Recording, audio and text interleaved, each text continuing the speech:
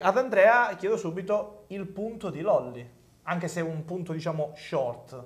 Esatto, un punto ristretto causa fasi finali della stagione.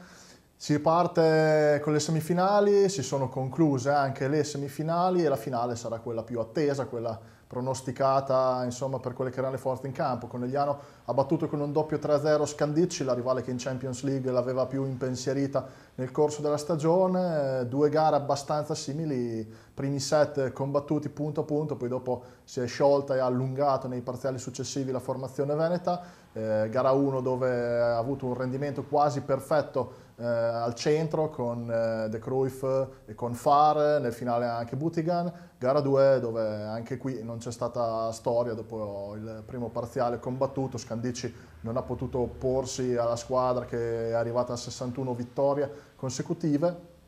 Dall'altra parte invece Novara ha avuto la meglio su Monza eh, recuperando quelle che erano state le difficoltà e recuperando eh, le sconfitte maturate nel corso della regular season, un 3-2, eh, una vittoria al tie break in gara 1, 3-1 invece il risultato come abbiamo visto a Monza, si conferma l'ingresso di Dalderop in sestetto al posto di Airbots, un'arma vincente, Monza senza coach Gaspar in panchina come è successo contro Chieri, ha avuto meno continuità, qualche passaggio in più a vuoto che è stato decisivo.